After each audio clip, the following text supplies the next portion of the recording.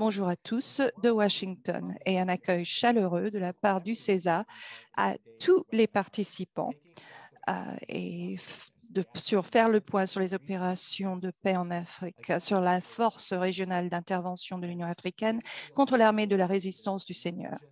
Alors, euh, encore une fois, bonjour à tous et je félicite tous les participants qui représentent énormément d'expertise euh, dans notre audience. Aujourd'hui, nous avons à peu près 100 participants qui représentent euh, le secteur militaire, les universitaires, euh, la société civile. Nous avons près de 60 pays représentés et c'est vraiment une audience impressionnante.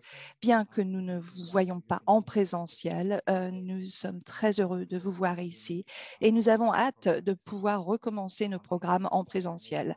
Je suis le docteur Nate Allen, je suis professeur adjoint des études de sécurité au CESA. Je suis le responsable des programmes sur les opérations de maintien de la paix. Alors, je suis heureux de modérer ce panel aujourd'hui. Ceci est le quatrième et dernier webinaire euh, sur les succès stratégiques, les défis, les leçons apprises euh, à, partir de euh, l'APSA, l'architecture de paix et de sécurité de l'Afrique, et des missions ad hoc en Afrique. Avant de commencer, je vais donner la parole à Daniel Hampton, le directeur par intérim du CESA. Merci, Dr. Allen, et bonjour à tous, où que vous soyez. Et je vous souhaite un accueil chaleureux et je vous remercie d'avoir pris le temps de participer à ce webinaire. Nous savons que vous êtes très occupés, nous apprécions votre participation. Euh, je suis Daniel Hampton, je suis euh, actuellement le directeur par intérim du CESA. Je sais que beaucoup d'entre vous sont des anciens élèves du CESA. Alors, merci de nous avoir rejoints. Et nous avons peut-être des nouveaux. Alors, je vais peut-être un peu présenter le CESA et vous dire qui nous sommes ici et ce que nous faisons.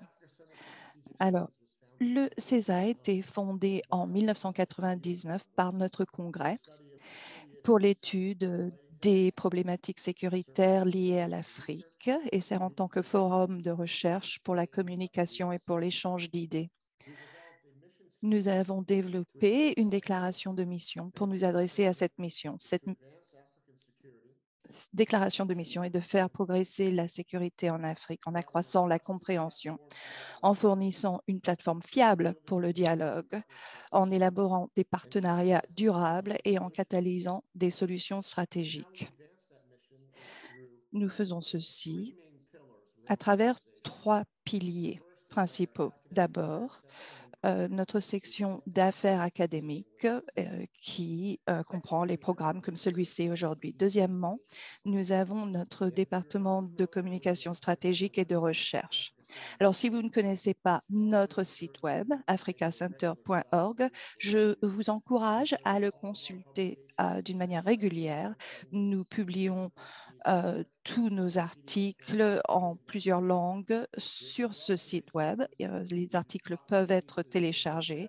Nous avons énormément de ressources euh, et vous pouvez vous abonner aussi à nos nouvelles. Alors, je vous encourage à consulter notre site web. Et dernièrement, il y a notre section pour les affaires des anciens élèves et notre travail de proximité. Et ceci veut dire garder le contact avec les gens comme vous, euh, cette communauté qui s'intéresse aux problématiques sécuritaires en Afrique. Donc, nous voulons être une ressource pour vous et vous inclure dans notre famille. Alors, dernièrement, euh, j'ai parlé de du fait que nous catalysons des solutions stratégiques. Et ceci est à propos de vous. Nous vous présentons ces sujets, nous invitons des panélistes et nous partageons. Et nous espérons que vous, au sein de vos institutions, dans vos postes, que vous utiliserez ces informations pour catalyser des solutions stratégiques et pour faire progresser la sécurité en Afrique. Alors, merci de nous avoir rejoints. Euh, ceci est un sujet très important. L'Union africaine euh, mène euh, les efforts de maintien de la paix à travers l'Afrique. Il est important d'étudier les cas comme celui-ci parce que le rôle de l'Union africaine à travers le continent est essentiel.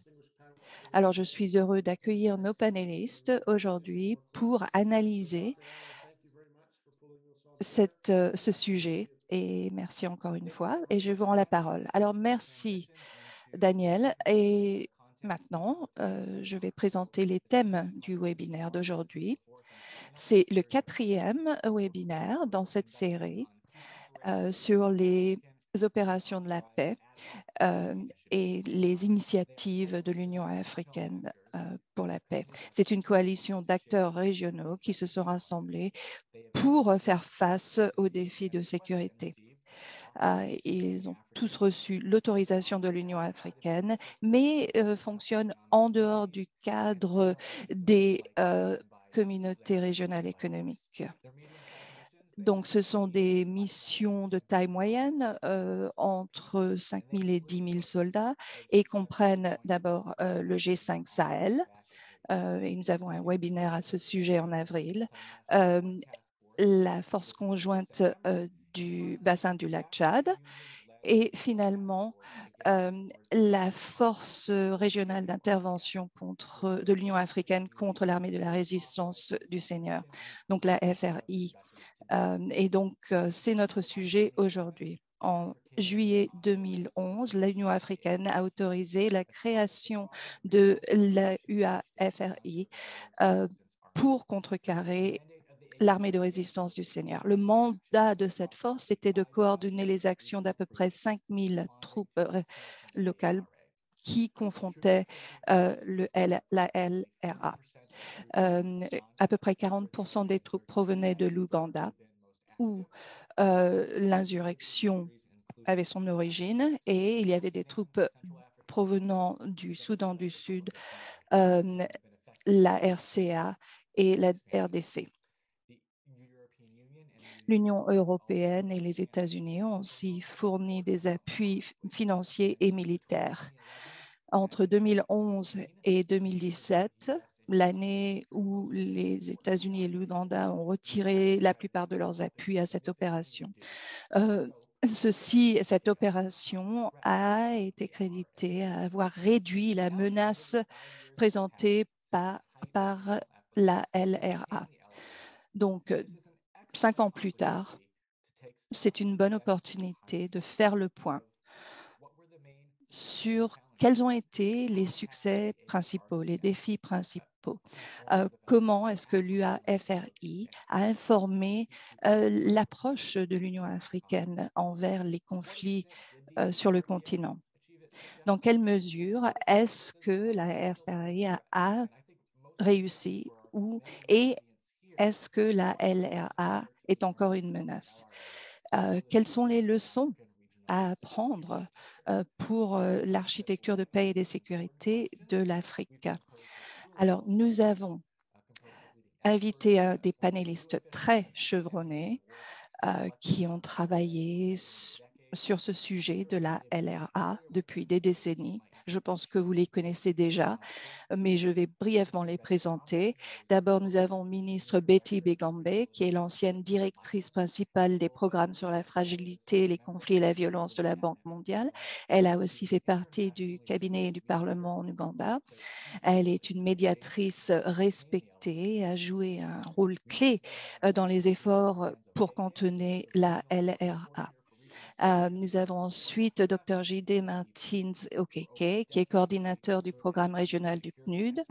Euh, pendant plus de dix ans, il a travaillé pour des centres de réflexion euh, et des institutions telles que Harvard en tant que chef de politique Et finalement, nous avons le docteur Christopher Day, qui est professeur adjoint euh, au Charleston College, au département de sciences politiques. C'est un expert sur la paix et la sécurité en Afrique. Il a fait énormément de recherches en Ouganda. Il a écrit euh, l'un des articles que nous avons recommandés pour cette session. Betty, nous allons commencer avec vous. En tant que votre, avec votre expérience en tant que ministre et votre expérience avec la LRA, je voudrais que vous nous parliez du contexte politique euh, qui a mené à l'établissement euh, de l'UAFRI. Euh, quels ont été les acteurs clés dans sa création? Quel a été le rôle de l'Ouganda dans sa création? Alors, l'Union l'UAFRI pourrait être euh, euh, fait de même dans d'autres parties de l'Afrique. Pourquoi est-ce que cela a pris 23 ans pour que les forces de l'UA euh, s'insèrent dans cette situation? Cela a été déclenché si vous avez le fait qu'il y ait eu un problème régional, le, LRA était en Soudan du Sud depuis longtemps. Et après les pourparlers de paix de Juba ont échoué. Ils sont allés en Centrafrique, ils sont rentrés dans la RDF et ce qui a aussi attiré l'attention internationale, c'était le fait que le LRA avait été accusé et trouvé lorsque le leader a refusé de se montrer pour signer l'accord qui a été négocié à Juba après une série d'autres négociations qui euh, il y avait des préoccupations, non seulement au sein de l'Union africaine, mais aussi au niveau international. Et nous avons pensé que la question devait être adressée par des régions et non seulement un problème ougandais uniquement. Donc, l'Union africaine, en 2009, au mois d'août, a décidé qu'il fallait faire quelque chose de la part de l'Union africaine. Une série de réunions a eu lieu et ensuite, en novembre 2011, des décisions ont été prises que l'Union les forces de l'Union africaine contribuées par, dans la région, l'Ouganda, le Congo, le, Soudan du Sud et la République centrafricaine devaient euh, participer euh, dans cette lutte contre le LRA parce que ils entreprenaient leurs crimes haineux, ils, ils enlevaient les personnes, beaucoup de meurtres, beaucoup de destruction. Et l'Union africaine est euh, donc entrée pour soutenir euh, l'effort aussi bien que euh, l'Union européenne et les États-Unis. Et lorsque cette décision a été prise, il y avait eu plusieurs composantes. Tout d'abord, c'était les connaissances sur les forces du FRI, ensuite de nommer des représentants euh, de l'Union africaine à la question du LRA, ensuite la question de siège central qui était dans la République centrafricaine et ensuite d'utiliser des approches non seulement militaires pour encourager les défections des euh, soldats de la LRA. Au départ, on espérait avoir 5000 troupes, mais finalement, il n'y en a eu que 3500, dont 2000 étaient contribués par l'Ouganda. Alors, bien sûr, les États-Unis se sont insérés aussi. Avant d'entrer dans les réussites et les défis, je voudrais euh, parler des succès et des défis de l'intervention des forces régionales d'intervention il y avait des, problématiques qu'il fallait tout d'abord surmonter. Le Soudan du Sud venait de devenir euh, quasi autonome et donc leur force n'était pas tout à fait en place encore. Ensuite, il y avait la DRC euh, il fallait persuader la RDC. Il y avait eu des, une instabilité de ce côté-là aussi. Et puis à l'époque, le Soudan était perçu comme étant l'exportateur du problème, du rôle le plus important euh, d'adresser la question de la LRA. La raison pour laquelle je pense que cette démarche peut être euh, copiée et, dans d'autres pays, c'est que il faut avoir une intervention pour arrêter et mettre fin aux activités de la LRA dans la région. Les États-Unis euh, ont aussi envoyé euh, des forces de soutien.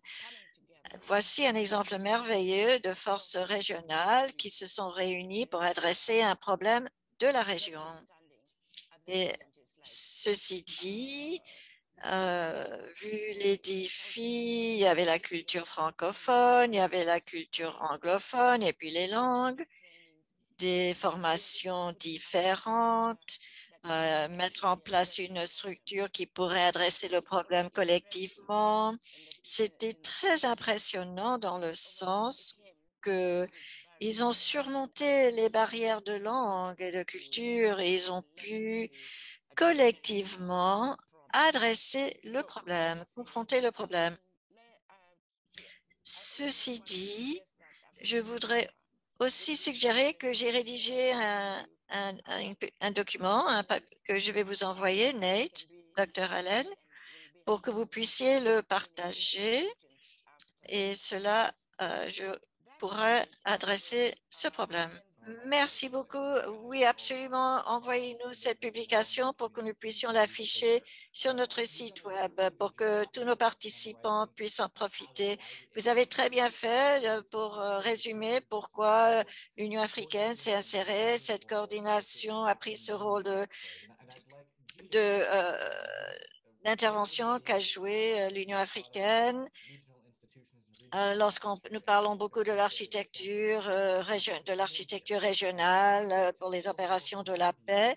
Alors, de votre point de vue, quel était le rôle de l'Union africaine dans la mise en œuvre de, de la FRI? Comment est-ce que cette approche a-t-elle été différente des approches préalables qu'avaient sponsorisé les opérations de paix de l'Union africaine? Merci beaucoup, Yet. Bon après-midi et bonne matinée à vous tous. Je voudrais expliquer tout d'abord pourquoi je considère euh, ce que je considère étant euh, la première euh, chose de ce modèle de la FRI pour contrer la LRA. Je voudrais mentionner quelques points principaux.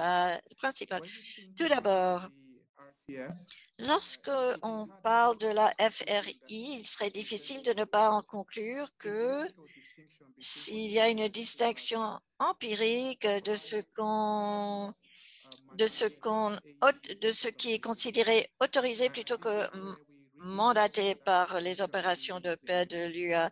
Et voilà une distinction que nous avons vue.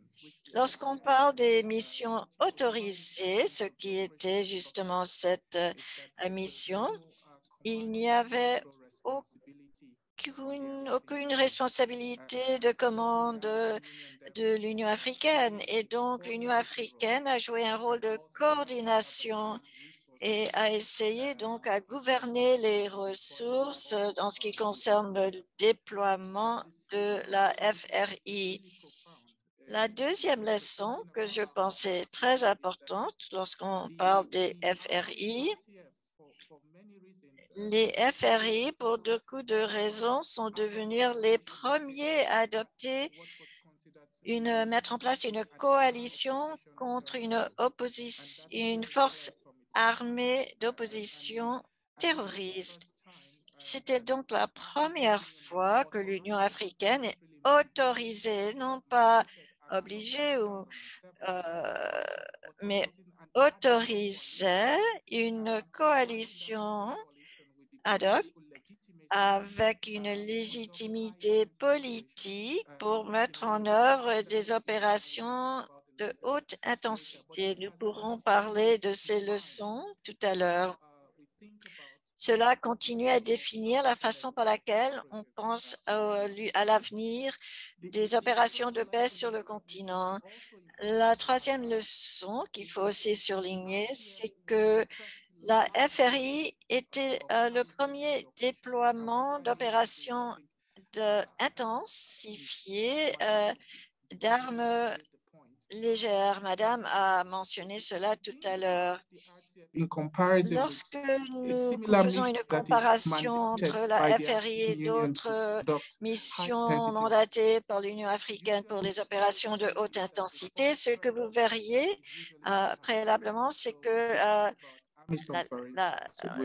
c'était des, opérations militaires très, très fortes. Avant, il y avait 20 000, soldats, par exemple. Cette, mission-là était plus légère parce qu'elle ne devait déployer que 5 000 personnels militaires. Non, il y a la distinction entre euh, ceux en uniforme et ceux qui ne le sont pas. Et alors, la, première, justement, la plupart des forces provenaient de l'UPF c'est un défi parce que dans des missions pareilles d'opérations de haute intensité, euh, c'est toujours euh, un défi. Et nous avons vu cela dans des missions qui ont été déployées d'ici là. Autrement, je voudrais aussi mentionner le ce qu'a fait le FRI. On s'est penché sur des modèles de, financement. Euh, alors, puisqu'il n'y avait pas de mandat provenant de l'Union africaine et non plus de Conseil de sécurité de l'ONU, ils ont bénéficié donc de, contributions volontaires euh, de nos partenaires. Et donc, il y avait les États-Unis qui nous ont fourni euh, les logistiques, les renseignements, la formation, euh, euh, le soutien aérien. L'Union européenne a aussi soutenu les mécanismes de logistique. Alors, lorsque vous autorisez une mission, il y a des responsabilités qui sont possibles et alors, euh, on peut avoir des contributions volontaires provenant des partenaires. Et puis, dernièrement, le point le plus important, souvent dans le F, le FRI a été a vu sa fin. La FRI a des implications pour l'avenir pour les opérations de la paix et de la sécurité. Le Conseil de la paix et de la sécurité de euh, l'Union africaine a fait appel pour qu'on continue la FRI. Parce que ce que nous avions vu sur le terrain, c'est que euh, depuis 2017, les opérations du FRI avaient été mises à fin, mais ce n'était pas vraiment très bien entrepris. Alors, dans le contexte de ce sorte d'opération de, la paix, il faut se demander si cette stratégie, euh, si euh, il y a des délais où on met fin à ces opérations ou comment mettre fin à ces opérations. Il faut revoir cette question parce que c'est pas tellement net. Ah, c'était une très bonne réponse. Oui, il y a une différence entre ah, les missions autorisées par euh, l'Union africaine, mais pas un mandat officiel et euh, d'avoir euh, d'avoir un, un, pas léger et c'est une chose qui a vraiment façonné la façon, les approches de l'Union africaine euh, vis-à-vis des opérations de la paix. Je vais maintenant faire venir Chris pour nous aider à comprendre mieux les FRI du point de vue de euh, gestion des conflits. Les gens catégorisent avec du mal les FRI mais parfois c'est catégorisé comme étant des opérations de la paix, d'autres disent des coalitions ad hoc, des initiatives de sécurité régionale. Mais d'après vous, cette conception est mise en œuvre des FRI, comment on compare cela à des opérations de paix plus traditionnelles, comme nous avons mentionné en Somalie? Quelles sont les similarités principales que vous pouvez euh, nous déballer? Merci. Alors, d'abord, bonjour et merci Annette d'avoir organisé ce webinaire. Je vous félicite. Euh, euh, je veux mentionner que quand vous avez présenté le panel, je suis dans ma cuisine, mon fils se préparait à aller à l'école et il m'a dit oh, c'est des gens qui ont l'air plutôt impressionnants, beaucoup plus impressionnants que toi, papa. Alors, euh, bon, alors, Betty, JD, merci. Alors, par rapport aux, similarités, aux différences, je vais souligner une similarité et trois différences.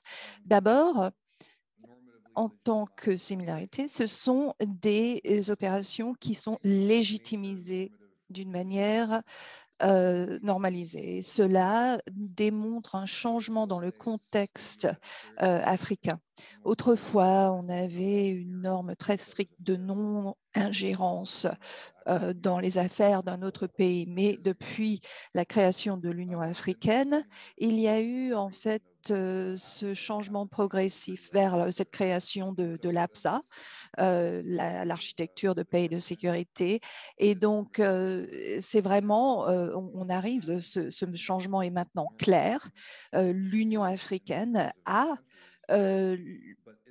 la possibilité de s'ingérer dans les affaires d'un pays de, l'Afrique. Euh, autrefois, on pouvait euh, en fait se retrouver au milieu d'un coup d'État et se retrouver en tant que président et le, continent vous reconnaîtrait en tant que, président. Mais maintenant, il y a des règles strictes par rapport à ce qui constitue une manière légitime de saisir le pouvoir et maintenant cette norme de non-ingérence est maintenant une norme de non-indifférence. Et maintenant, nous avons des forces d'intervention plus robustes. Alors, la plus grande différence, celles-ci ne sont pas des opérations de maintien de la paix euh, traditionnelles. Les, opérations de maintien de la paix ont de multiples composantes. Alors, leur rôle principal est normalement de euh, faire le suivi des, accords de paix. Ça, c'est vraiment euh, l'idée originale. Euh, ils ont beaucoup évolué sur les dernières 20 années, mais on voit maintenant euh, ces opérations de maintien de la paix robustes qui en fait euh, s'éloignent de, de cette idée d'utiliser la, force seulement euh, pour l'autodéfense, mais maintenant ils font le suivi euh, des opérations de cessez-le-feu, ils se déploient pour opérer comme des, forces de police, même dans, dans les pays où ils sont déployés. Ils font du DTR, de la démobilisation, désarmement et réintégration ou réhabilitation. Donc des fois, ils éliminent les mines ou ils aident avec des efforts humanitaires ou l'appui aux élections. Euh, donc, ces, forces d'intervention sont des, missions euh, de combat. Et ça, c'est la grande différence. Euh, ces forces régionales d'intervention sont vraiment des, forces de chasse à l'homme. Leur mission, c'est d'arrêter et peut-être tuer Joseph Kony et les autres membres de la LRA. Et donc, ils ont différentes, ces, ces forces ont différentes stratégies que les opérations de maintien de la paix. Alors, si on prend un peu de recul et on observe euh, ce à quoi ils répondent, elles sont créées en réponse à l'évolution des conflits euh, l'évolution changeante des conflits en Afrique. Auparavant, il y avait des gens qui euh, s'échappaient dans la brousse, prenaient les armes et essayaient de renverser les, régimes ou essayaient de renégocier leur participation dans un régime mais maintenant, la dynamique des conflits en Afrique a beaucoup changé depuis les années 90. dans les années 90, l'Afrique, avec le plus de conflits au monde, mais maintenant, il y a eu un déclin quand on compare ceci au Moyen-Orient. Mais il y a aussi, ces conflits sont, sont plus décentralisés maintenant. Ils, sont transfrontaliers maintenant. Ils n'ont pas forcément un, programme identifiable, de politique identifiable. Alors, donc, euh, les forces régionales d'intervention sont euh, euh, peuvent mieux gérer ceci. Donc, je pense que peut-être que Betty me peut me corriger, mais je ne pense pas qu'il y a vraiment eu une tentative significative euh, de d'intégrer Joseph Kony ou de, de euh, ou la LRA euh, dans le, de les intégrer dans le gouvernement du Gouganda. Ça, m'étonnerait. Mais ça, c'est vraiment la mission des opérations de maintien de la paix. Et la plus grande différence pour moi, c'est que les FRI sont vraiment des outils utiles pour les régimes, pour qu'ils puissent poursuivre leurs intérêts de sécurité euh, dans une région. Ils ne sont pas dilués par une plus grande intervention internationale. Par exemple, l'UPDF et le régime ougandais. Euh, Museveni, je crois, qu'il se voit, il veut avoir une empreinte, une grande empreinte sécuritaire. Je ne sais pas si c'est pour la sécurité de son régime ou pour une sécurité économique, mais ce genre d'arrangement, d'agencement de, permet au, régime comme le, le régime ougandais d'intervenir plus directement, d'avoir une autonomie stratégique par rapport à leurs décisions dans ces missions de combat. Et ils ont moins de redevabilité et moins de suivi. Alors voilà les trois grandes euh, différences. Merci beaucoup, Chris. Euh, vous avez en fait éclairci comment ces missions sont tellement différentes des opérations traditionnelles de maintien de la paix. Euh, ce n'est pas à propos de la négociation de la paix, mais c'est vraiment une focalisation sur les acteurs régionaux et les pays euh, qui sont impactés, qui ont le contrôle de ces forces, plutôt qu'un organe international tel que l'ONU ou l'Union africaine.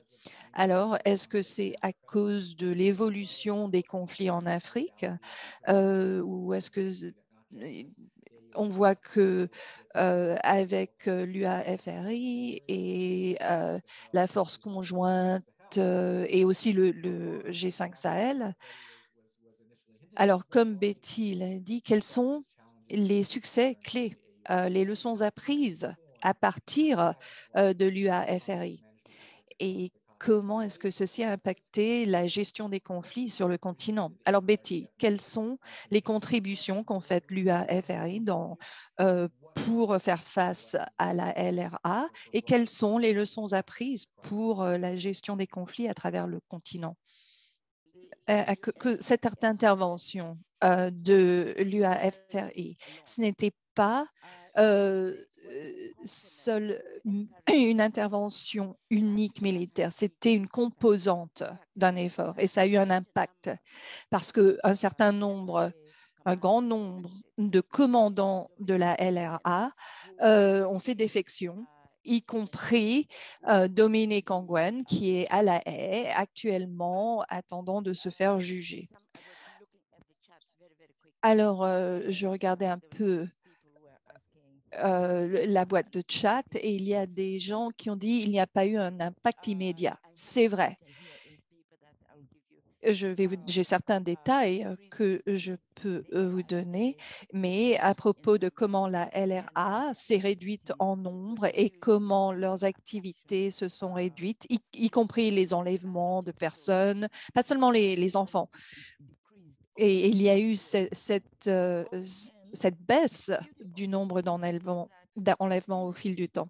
Et le mieux, c'est que les synergies, et parce que les ONG se sont impliquées, l'ONU, le Conseil de sécurité, l'Union européenne, l'Union africaine ont tout été impliqués. Alors cette synergie a un impact très positif, a eu un, impact très positif euh, dans cette lutte contre la LRA. Alors, les défis, c'est toujours c'est les ressources.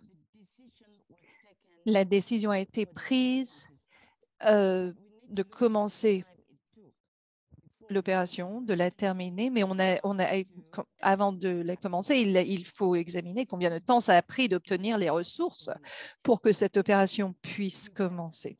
Alors, est-ce qu'on peut faire mieux si il y, a, il y aurait une autre intervention qui prendrait place à l'avenir? Euh, comment ferons-nous pour nous assurer que ce ne prendra pas autant de temps pour allouer les ressources à, cette force?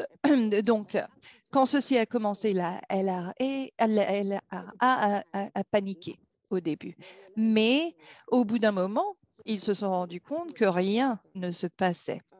Alors d'ici que l'opération euh, commence pour de vrai, disons, ils avaient retrouvé leur, euh, dynamique.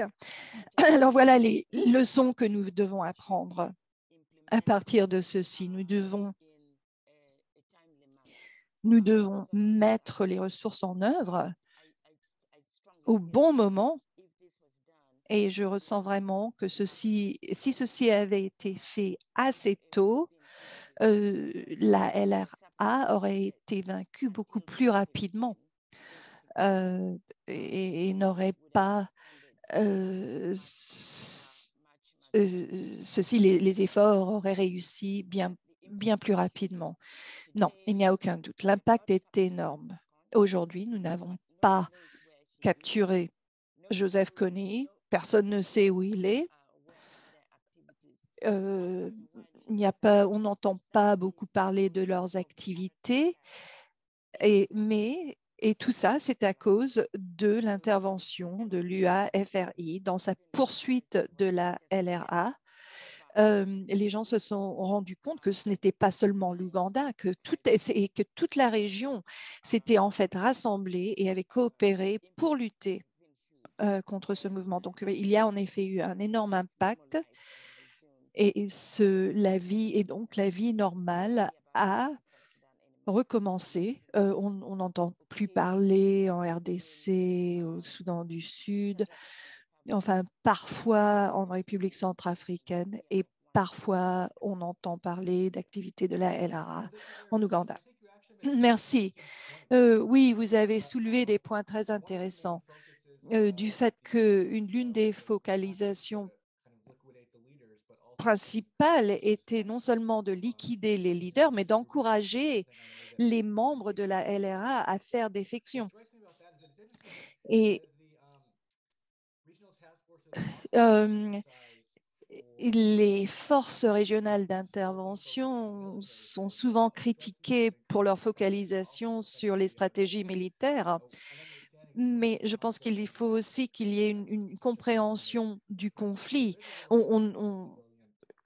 Donc, il y a quand même une composante non civile, en effet, qui, explique la, manière dont cette force a, réussi à réduire euh, les effets de la LRA. Alors, j'aimerais entendre les points de vue des autres panélistes par rapport à ces succès, ces défis. Alors, euh, Christophe, je voudrais que vous adressiez à la même question, mais d'un point de vue de la science sociale. Quelles sont les leçons clés apprises à partir de l'UAFRI pour la gestion des conflits et quels aspects pourraient être reproduits et lesquels ne seraient difficiles à calquer sur d'autres efforts? Euh, alors, Chris, vous avez la parole. Bien sûr. Donc, j'ai un certain nombre de choses à dire. Et alors, euh, dites-moi de m'arrêter quand j'ai trop parlé. Après notre conversation, nous avons une euh, petite conversation avant cette session et je suis allée vers le site qui suit les activités de la LRA. Et, en effet, ils ne sont plus une menace d'un point de vue militaire traditionnel. Ils sont, seulement un acteur qui est encore présent en, à l'est de la RDC et de la République centrafricaine qui euh, braque les gens et vole des gens, mais et ensuite il les laisse partir. On, pense que Joseph Kony est au Soudan du Sud. Euh, et si on le sait, euh, je trouve ça bizarre qu'on n'arrive pas à l'arrêter, mais la LRA est en fait, d'un point de vue conventionnel, n'est plus une menace. Alors, est-ce que la FRI a réussi? Est-ce que ceci a été un succès parce que la LRA n'est plus une menace? Alors, je pense que Betty, il y a eu en effet beaucoup de forces qui ont été appliquées, de la communication de la part des acteurs sur le terrain, mais je me demande si la, LRA n'était pas déjà prête à s'effondrer d'ici le point où la FRI a été déployée. Et donc, euh, de, depuis son histoire dès ses débuts dans les années 90 et les années 2000, où ils avaient un appui provenant du, du gouvernement soudanais. Ils obtenaient des armes du territoire et ils apprenaient à s'adapter.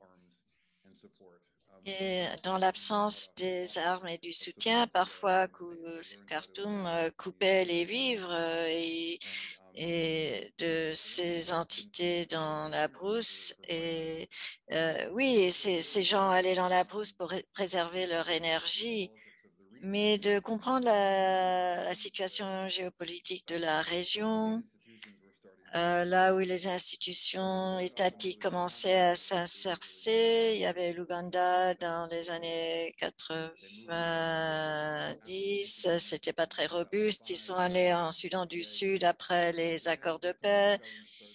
Le gouvernement Thomas a commencé à s'insérer, euh, et puis au Congo, et puis les euh, FRI ont commencé à euh, rétrécir cet espace, fermer l'espace où les institutions euh, gouvernementales, gouvernementales plus faibles étaient un petit peu remplacées. Donc, c'était un petit peu la FRI comme substitution pour euh, les institutions étatiques faibles. Donc, c'était un petit peu une euh, imposition artificielle qui a forcé justement la LRA à, fuir un petit peu partout et de façon éparpillée.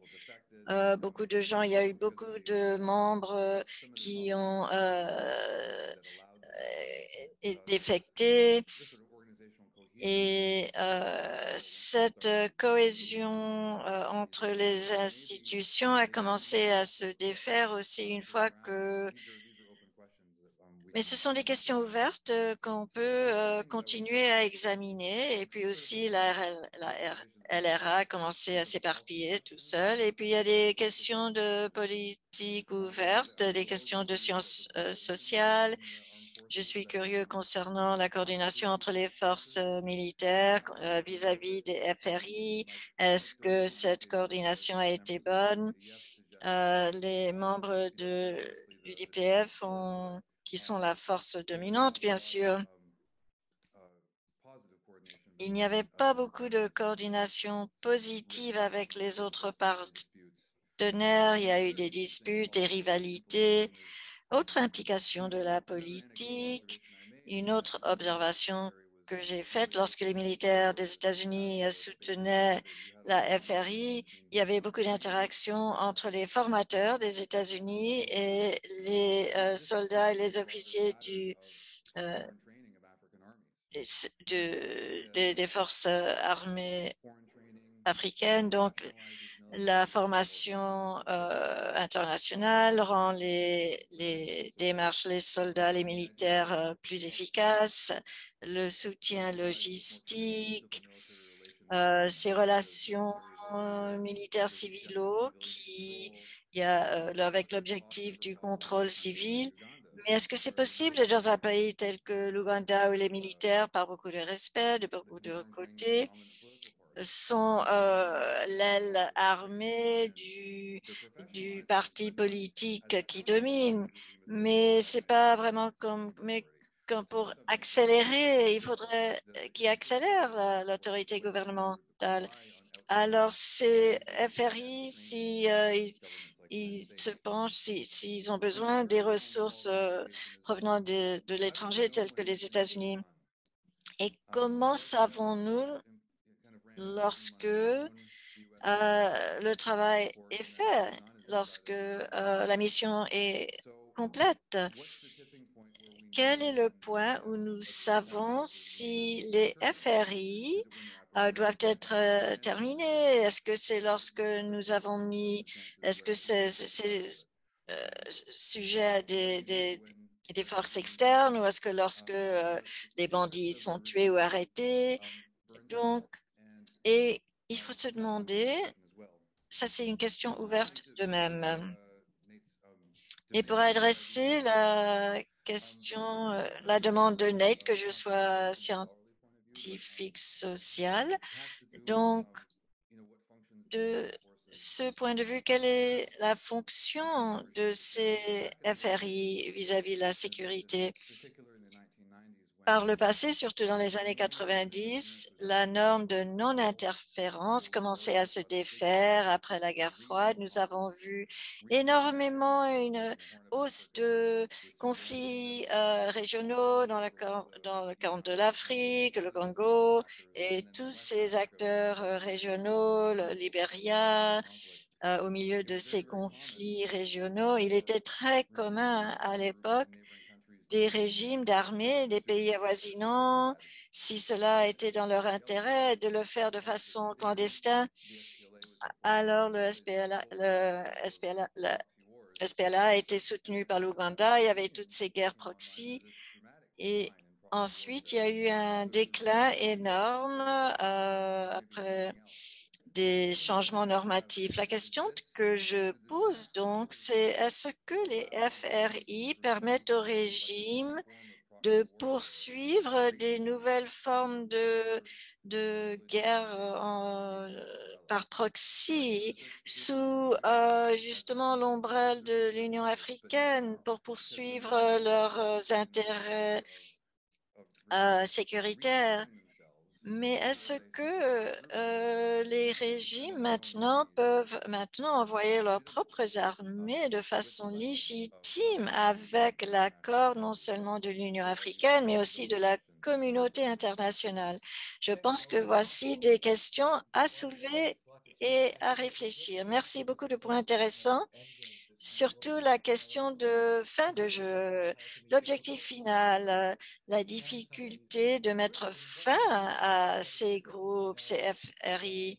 Il est difficile parfois de comprendre lorsque l'insurrection a, est arrivé à sa fin. Beaucoup des insurrections, surtout celles que nous avons vues aujourd'hui, ne, ne voient pas leur fin avec des accords de paix, mais plutôt euh, elles deviennent moins importantes, elles, sont éparpillées, les menaces deviennent moins importantes.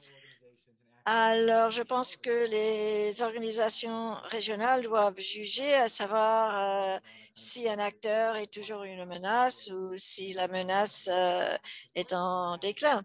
C'est un peu pour cela que nous avons cette discussion aujourd'hui, cinq années après le fait. Alors, JDR, nous allons conclure avec vous. Nous avons beaucoup de questions provenant de, de nos participants. Si vous avez des questions, je vous encourage de les mettre dans la boîte de bavardage, dans le chat maintenant. Et notre effectif euh, répondra, euh, nous, nous, passerons les questions. Alors, D'après vous, quelles sont les leçons apprises provenant de l'UAFRI dans la gestion des opérations de la paix et d'autres interventions des acteurs régionaux? Merci euh, beaucoup. Il est très important, intervention très importante, euh, euh, dit M. Okeki. Tout d'abord, si nous nous parlons des opérations de la paix aujourd'hui en Afrique et qu'on fait le lien avec la FRI, vous pourriez facilement arriver à un consensus que les coalitions sont là pour du bon maintenant, surtout vu la nature des menaces sécuritaires euh, qui confrontent euh, le continent. C'est pour cela, si on se penche sur les modèles qui ont été déployés depuis 2011, Vous allez aussi, vous pourriez conclure que certaines de ces missions ont été inspirées par le modèle FRI tel que euh, contre Boko Haram, le G5 Sahel. Et euh, aussi nous en avons pas discuté, c'est assez récent, le déploiement récent euh, de Rwanda dans la région de Cabo Delgado ce sont, qui a été entrepris par des partenaires bilatéraux mais aussi euh, une coalition entre États qui cherche à réduire les menaces sécuritaires posées par euh, des groupes d'opposition. Donc, ce modèle, je pense, euh, est à rester avec nous, va rester avec nous pendant un certain temps et j'espère sera favorisé du point de vue efficacité. Ce qui est important à noter, euh, c'est qu'il existe encore des défis de sécurité dans la région aujourd'hui. Alors, le FRI euh, met la lumière sur la question de la gouvernance des communautés frontalières. Si on euh, se penche sur la géographie où ces coalitions sont déployées, elles sont toutes déployées euh, dans les communautés euh, frontalières. Alors, dans le cas de FRI, du bassin du lac Tchad, Boko Haram, les, opérations du G5 Sahel, les communalités, dans ce contexte, vis-à-vis -vis la question de la sécurité sur les frontières, que peut-on faire? Et si, euh, si la population de 270 millions à travers le continent, il est important de bien mettre la lumière, de bien éclairer euh, la façon par laquelle on peut gérer la question de gouvernance dans les communautés frontalières. Et je pense que cela est important. Et lié à cela, de même, euh, les interventions sécuritaires que nous avons vues dans le cas de FRI pourraient favoriser les conditions pour la paix, mais elles sont de même, elles ne sont pas le moyen par lequel la paix sera atteinte?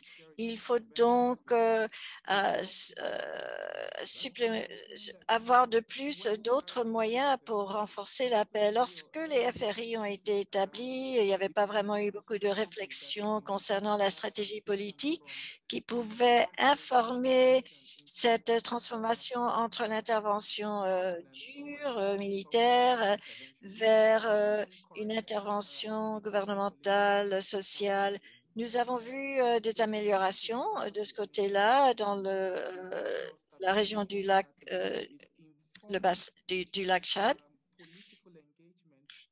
vis-à-vis l'engagement politique qui pourrait mener à une paix durable.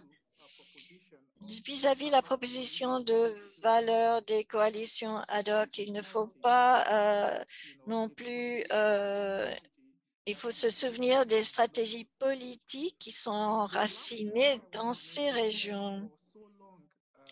Et puis ensuite, depuis très longtemps, nous parlons du besoin de favoriser les conditions euh, de l'assistance humanitaire. Il est important euh, de se souvenir de cela. Les forces euh, sécurité doivent être euh, fait de façon que d'autonomiser les peuples euh, et non seulement des organismes de, de, comme ça, vous pourriez mettre en place des communautés durables de façon qui euh, peut promouvoir la paix. Et voilà. Merci beaucoup à vous trois pour une euh, séance plénière formidable avec beaucoup d'idées. Euh, Moi-même, j'ai beaucoup appris et maintenant, nous allons commencer la période des questions et des réponses. J'encourage les participants d'utiliser la fonction chat boîte de bavardage en bas de votre écran Si vous ne l'avez pas encore fait, veuillez bien euh, mettre vos questions, taper votre question. Et en tant que modérateur, je vais euh, fournir ces questions alors que le temps nous le permette. Alors, tout, la première question, nous avons une question. Une question adressée à Betty, mais on va l'adresser à tout le monde. Est-ce la LRA qu'est-ce qu'elle nous dit à propos des réponses euh, régionales euh, par rapport aux interventions plus récentes, par exemple euh, l'intervention de SADEC avec le conflit de, à Cabo Delgado. Alors, quelle est la, perspective sur comment, qu'est-ce qui a été appris à partir de l'UAFRI par rapport à l'influence croissante des acteurs régionaux? Ensuite, comment est-ce que le rôle des forces africaines en attente s'intègre dans ces forces régionales d'intervention et aussi pour Chris, qui bénéficie vraiment de ces opérations de maintien de la paix? Alors, on examine beaucoup de ces opérations de maintien de la paix. les pays qui contribuent des soldats euh, sont souvent, comme Chris l'a dit, des régimes autoritaires euh, qui privilégient la sécurité du régime euh, au-dessus de la protection des citoyens et veulent dorer leur profil ou accroître leur force de sécurité pour sécuriser leur pouvoir. Et, donc, c'est peut-être je pense qu'on va faire aussi d'autres programmes sur ce sujet à l'avenir, je note. Alors, j'aimerais que chacun des panélistes réponde à ces questions. Vous prenez celles qui vous intéressent et, et ensuite nous aurons le temps, le temps pour deux ou trois tours d'autres questions. Alors, je vais commencer avec Betty. Alors, Betty, auriez-vous quelque chose à dire à propos de l'un de ces sujets? Merci je me suis dit que je parlerai de la question du rôle des forces africaines en attente. Les, FAA. c'est un sujet qui mérite plus de discussion parce qu'on on entend parler de ces forces en attente. Mais il est très difficile de savoir quand elles peuvent intervenir en fait. Et je pense que cette question des, forces en attente est très politisée parce que, et, dans la mesure, elles sont vraiment en attente, mais elles ne sont pas assez actives. Elles sont toujours en attente. Par exemple, que font ces, forces, elles sont en attente. Euh, je ne comprends pas vraiment ce qu'elles font. Il y a des problèmes, des conflits, par exemple en, Afrique de l'Est. Euh, et je me pose souvent la question, alors que elles servent à quoi ces forces en attente? Pourquoi elles n'interviennent pas? On entend parler du manque d'accès euh, pour l'aide humanitaire. Par exemple, disons, parlons du Soudan du Sud. Bien sûr, il y a une force de l'ONU qui est impliquée, mais il y a encore des défis pour obtenir l'accès pour l'aide humanitaire, pour qu'elle puisse atteindre les personnes déplacées à l'interne. Alors, est-ce que c'est quelque chose que les forces en attente pourraient, est-ce qu'elles pourraient agir et intervenir à ce moment-là? Je pense qu'il est important pour les leaders régionaux et je, pense que ce n'est pas, il ne devrait pas établir ses forces en attente juste pour suivre l'exemple d'autres régions, mais plutôt mais, mais, les établir en fait pour qu'elles agissent, qu'elles fassent des choses. Et donc, et je dois en fait confesser, je dois avouer que je n'ai pas vraiment étudier exactement ce que ces forces font, quel est leur mandat, euh, quels sont leurs périmètres d'opération. Et souvent, le problème, bien sûr, c'est les ressources.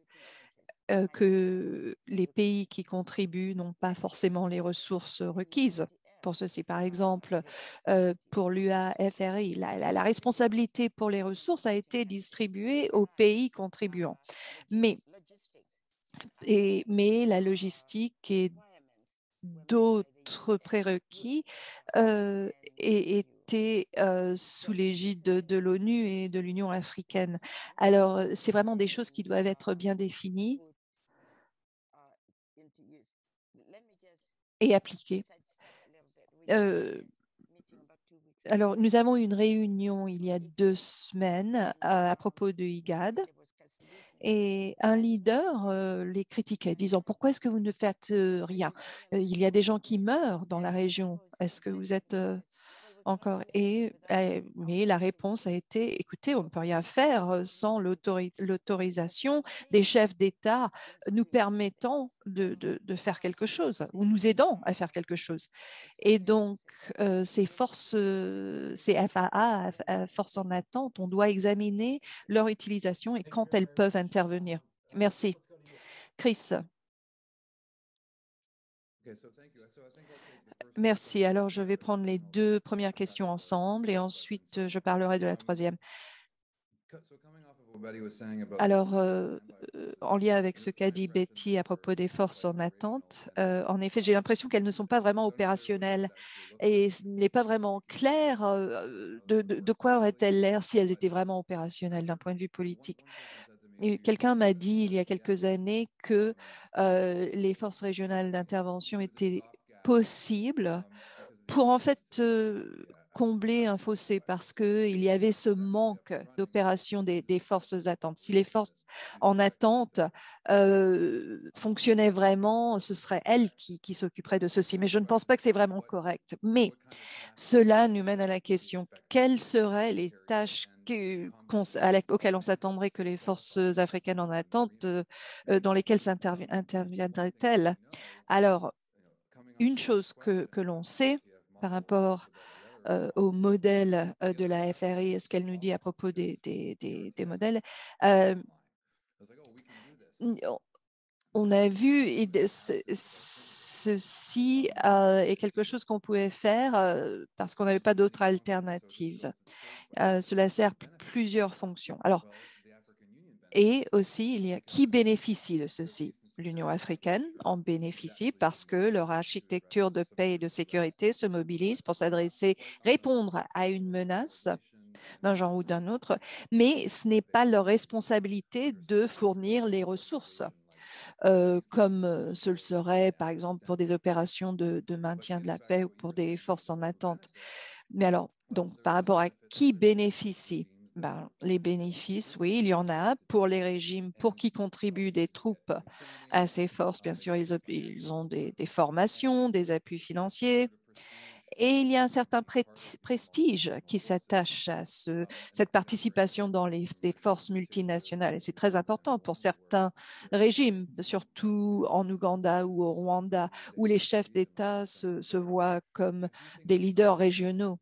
Mais je pense qu'il y a une limite à ces bénéfices parce que une fois que les soldats au sein de ces armées commencent à mourir sur le terrain, les gens commencent à se poser des questions, pas seulement au sein des forces armées, mais aussi le public se demande euh, que euh, font euh, ces forces euh, en République centrafricaine ou alors en euh, et surtout si par exemple Joseph Kony n'est plus vraiment pertinent euh, parce qu'il ne il ne fait plus rien en Ouganda.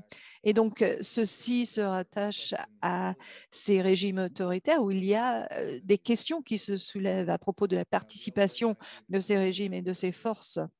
Bon, la LRA est, un cas un peu étrange. Je pense que c'est presque personnel, en fait. Il y a des gens qui ont une, une animosité envers Coney, qui, qui, veulent vraiment personnellement le tuer, l'éliminer. Et pour eux, c'est une mission euh, spécifique. Mais je pense qu'il y a même une limite euh, sur ceci. Les commandants prennent leur retraite, ils sont remplacés et les priorités évolue. Et donc c'est et donc et souvent il y a des priorités plus plus urgentes euh, qui se présentent euh, donc voilà.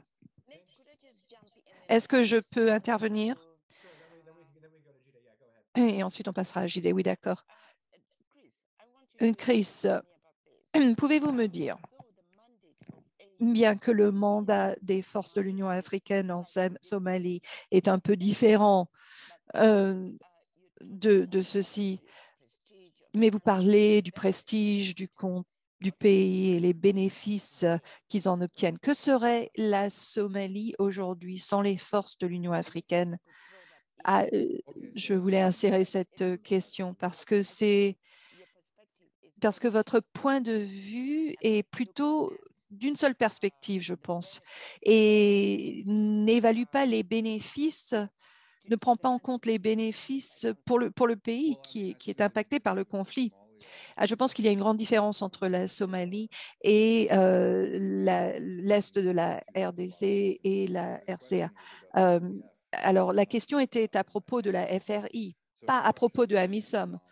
Alors, si on parle de AMISOM, en effet, vous avez raison, la Somalie, euh, les choses vont beaucoup mieux qu'il y a dix ans, c'est vrai. Il y a un certain niveau de stabilité, un, régime qui fonctionne. Euh, mais pour répondre directement à qui bénéficie de la FRI, ce n'est pas vraiment clair pour moi s'il y a des bénéfices pour les populations qui vivent dans la région. Et certains diraient peut-être que la militarisation de ces contextes avec ces forces régionales d'intervention, en fait que ceci peut faire s'empirer la, la, situation. Alors enfin bon, on peut en reparler, bien sûr. JD, et on a une question euh, qui se relie à ceci. Alors, je vais poser ces deux dernières questions. Ensuite, je vais passer à JD. JD va, va répondre euh, et à sa question, mais il y a une autre question qui, en fait, se rattache à ce financement. Euh, quelles sont les ressources, les moyens de l'Union africaine pour euh, répondre à ces, conflits? C'est une grande question pour l'Union africaine. Euh, c'est un, grand, c'est un acteur de moindre importance par rapport aux États-Unis ou, l'ONU. Alors, comment est-ce qu'ils ils deviennent pertinent. Et l'une des réponses serait peut-être, euh, je ne veux pas deviner ce que vous allez dire, mais une euh, réponse serait de, coordonner, coordonner à travers euh, des forces d'intervention régionales telles que la FRI. Alors, les, les, réponses, le rôle de l'Union africaine dans la gestion de ces conflits. Et il y a une autre question à propos de, encore une fois, et, votre dernier point, Chris, ces trois missions, euh, y compris l'UAFRI, ils ont tous ces, trois, ces interventions ont été critiquées parce qu'elles se focalisent trop sur la stratégie militaire plutôt que la prévention ou l'établissement de structures euh, de gouvernance et, pour euh, mettre fin à ces conflits et, s'adresser à la sécurité des populations pour qu'ils soient moins vulnérables aux acteurs, que ce soit du côté du gouvernement ou des rebelles. Et, et ça, c'est l'une des critiques principales euh, de la force régionale d'intervention. Donc, euh, et donc, alors, comment est-ce qu'on peut mieux intégrer certaines de ces opérations euh, militaires pour une meilleure gouvernance et une meilleure sécurité pour les citoyens? Alors, d'abord JD, ensuite Chris et ensuite Betty. Merci. Alors, quand, je, quand on parle des liens et les leçons à prendre à partir de euh, euh, l'intervention et par rapport à Cabo, Delgado. Alors, un mandat politique est une précondition pour le déploiement. Alors, alors ça, pourrait être un accord euh, politique entre les États ou un accord au niveau des CER ou alors au niveau de l'Union africaine. Ce qui s'est produit sur la dernière décennie, c'est qu'il y a eu des, des, problèmes et des difficultés à aligner ces différents niveaux de prise de décision. Et on voit ceci dans les rapports stratégiques euh, sur les opérations de maintien de la paix euh, en Afrique. Et la deuxième leçon clé, c'est le modèle d'appui, d'accompagnement des, missions. Et je ne pense pas qu'on a abordé ce sujet jusqu'à maintenant. C'est vraiment ce, modèle qui informe vraiment comment ces missions sont déployées et maintenues, entretenues. c'est surtout une responsabilité nationale pour financer ces coalitions ponctuelles. Et le reste de l'appui, de l'accompagnement est fait d'une manière bilatérale ou euh, à partir d'un appui limité de la part de l'Union africaine. Et troisièmement, quel, devrait être cet alignement? Je pense qu'il y a un modèle qui est en train d'émerger. On voit une combinaison de d'intervention militaire et d'opérations de stabilisation. Par exemple, si on examine le bassin du lac Tchad aujourd'hui, on, voit qu'il y a une intervention militaire en cours, mais la FMM, on, voit qu'il y a des acteurs qui s'impliquent dans la communauté, la sécurité des communautés et essayent d'établir des structures de base et je crois que de plus en plus, si on veut s'assurer qu'on a une paix durable, ce modèle est un modèle qu'on doit continuer à appliquer. Euh, dernièrement, l'alignement avec les forces en attente. Je crois qu'il faut voir comment on définit les forces en attente de, l'Afrique. Si on voit ça comme une force permanente, comme euh, dit Sababa ou Cameroun, dans un espace logistique, ça n'existe pas. Mais si on définit ça comme euh, une euh, force pour euh, renforcement de capacité pour les forces africaines depuis peut-être 20 ans, nous voyons des éléments de ces forces en attente africaines déployées dans des opérations en marche les modèles donc de, de CFRI pour répondre aux crises. Euh, Cela ont représenté des, des mesures par intérim tout cela a été basé sur le modèle de FRI, des, démarches agiles qui peuvent être entreprises euh, pour un temps limité. Donc, je pense que tout cela, ce sont des observations euh, essentielles depuis 20 ans et je pense que le CESA pourra nous aider à approfondir cette réflexion. Euh, on peut faire un récit, la narration de ces opérations depuis 20 ans, mais ce qu'il faut faire pour réaliser une paix durable, il faut assurer que, que la gouvernance dans les communautés frontalières soit bien entreprise et assurée. Merci beaucoup. Merci beaucoup, JD. Maintenant, la parole à Chris et ensuite à Betty. Oui, merci. Je n'ai pas grand-chose à ajouter, euh, sauf que JD, vous m'avez donné quelque chose sur quoi réfléchir. C'est très encourageant. Ce que vous avez dit qu'il y a des initiatives en élaboration qui, euh, qui proviennent euh, après les forces internationales. Je n'avais pas euh, entendu parler de ça dans le contexte de FRI, mais cela m'a fait réfléchir. Si, par exemple, euh, la FRI était toujours en opération, ça fait quelques, années maintenant qu'elle s'est éteinte, mais même si elle était opérationnelle toujours, euh, par exemple au Congo, au, Soudan du Sud, ce sont des pays qui ont déjà des forces de maintien de la paix de l'ONU assez importantes déjà, qui entreprennent des tâches de renforcement de la paix tel que vous le suggérez et que fournissent euh, une ombrelle pour les ONG et d'autres acteurs qui fournissent des services pour les, gens de tous les jours. Euh, on pourrait en reparler à un certain moment. Cette comparaison où il y a les FRI qui opèrent dans le de pays qui déjà ont leur propre conflit à l'interne, où il y a ces, missions énormes de l'ONU qui sont là depuis toujours, telles que la RDC, avec qui ont des relations contentieuses avec euh, euh, les gouvernements et, les communautés. Et puis, euh, c'est peut-être une conversation qu'on pourrait avoir dans l'avenir pour explorer cela davantage. Oui, merci. Un point intéressant. Euh, est-ce que ces missions ont vraiment changé les relations?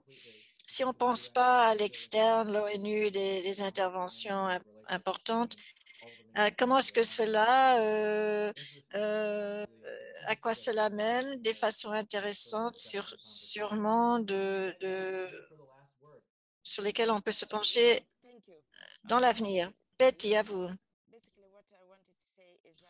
Ce que je voulais dire, je voulais répéter qu'il n'y a aucun doute que la FRI a eu un impact dans la chute de la LRA.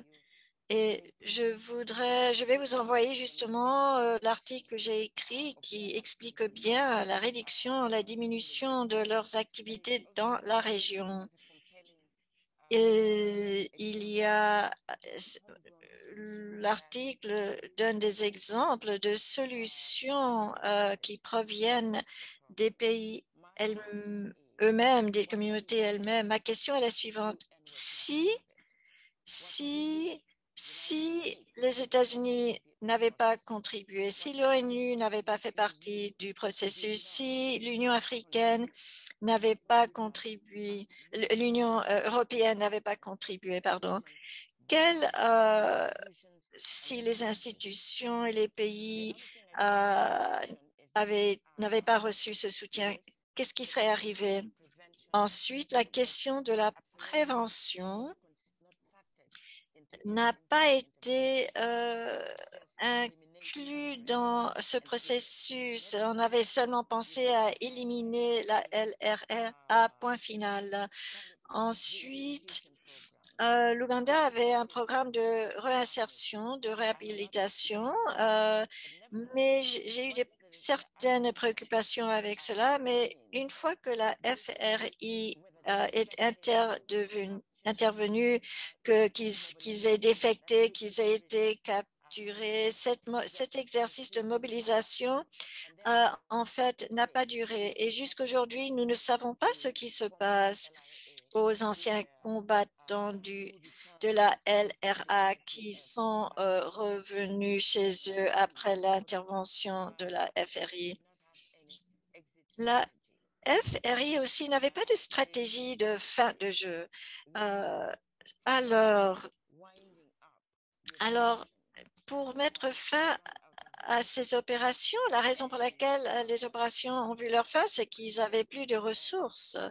Tout simplement, comme Chris a dit, que euh, euh, les forces ne pouvaient plus continuer parce qu'ils n'avaient plus le soutien de l'extérieur, des États-Unis ou ailleurs.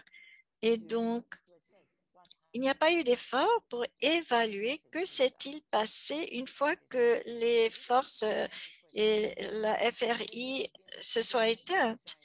Est-ce que ce programme aurait pu être conçu euh, de façon meilleure pour inclure une stratégie de sortie, de fin de jeu? Et je pense que les ONG se sont impliquées. Je pense que c'est une très bonne chose, euh, impliquées dans les défections, par exemple. Mais que s'est-il passé après? Alors, voilà tout ce que je voulais ajouter à la conversation. Merci Betty, merci Chris, merci JD d'avoir répondu aux questions de nos participants, de notre audience. Et un grand merci à tous ceux d'entre vous qui ont pu euh, euh, se rejoindre aux trois webinaires. Moi, je voudrais aussi euh, euh, je vais faire une petite comparaison euh, entre les trois webinaires. Alors, deux choses qui en sortent, qui sortent de la conversation d'aujourd'hui, c'est que malgré les réussites relatives du modèle de la FRI, il faut avoir davantage d'efforts pour nous concentrer sur les stratégies de prévention, euh, des efforts de mobilisation qui pourraient adresser les défis de gouvernance euh, euh, engendrés par ces conflits. C'est le rôle de l'Union africaine, des acteurs régionaux à jouer.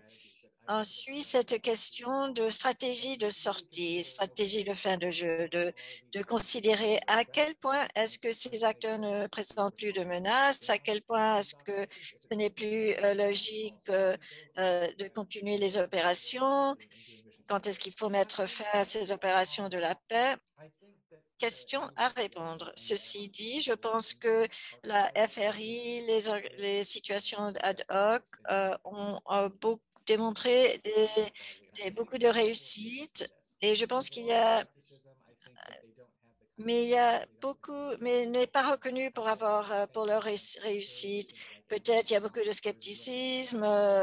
Il y a eu des missions à Darfour, à Mison et autres, mais je pense que ces missions ont évolué de façon très concrète pour répondre à des défis sécuritaires et qui le font très bien. Comme Chris l'a dit tout à l'heure, chacune de ces missions s'est adressée à une menace de sécurité transnationale, que ce soit la LRA, Boko Haram, que ce soit autre, des menaces qui ont traversé les frontières, qui, euh, confrontent plusieurs pays.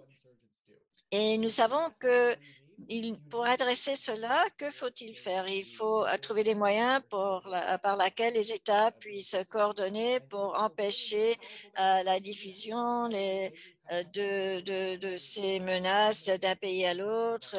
Alors, l'UA peut donner la légitimité pour le partage de renseignements à travers, par exemple, les FRI ce qui permet les armées de pays différents de poursuivre, euh, euh, de poursuivre ces groupes euh, criminels lorsqu'ils traversent les frontières. Nous n'avons pas nécessairement besoin de financement supplémentaire ou d'intervention autre. Vous avez besoin d'une coopération entre les pays qui sont affectés par ces menaces.